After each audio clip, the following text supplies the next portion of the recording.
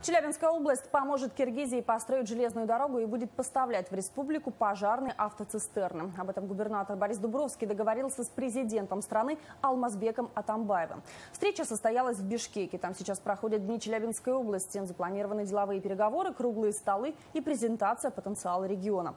Борис Дубровский на встрече с президентом отметил, Южный Урал увеличил товарооборот с республикой в полтора раза и готов к новым крупным проектам. Подробности об итогах встречи рассказал нам по телефону пресс секретарь губернатора Дмитрий Федичкин.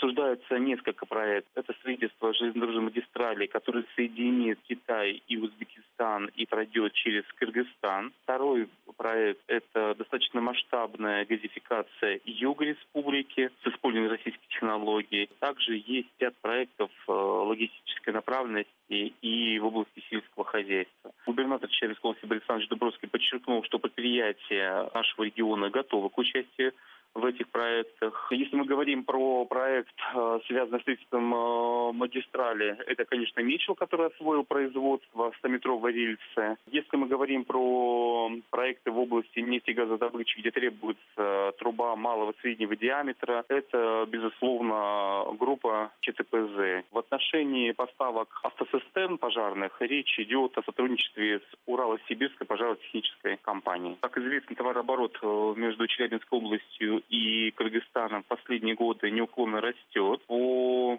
статистике 10% прироста состоялось в 2016 году по сравнению с 2015 годом. По итогам первого квартала 2017 года также наблюдается рост почти на 50%.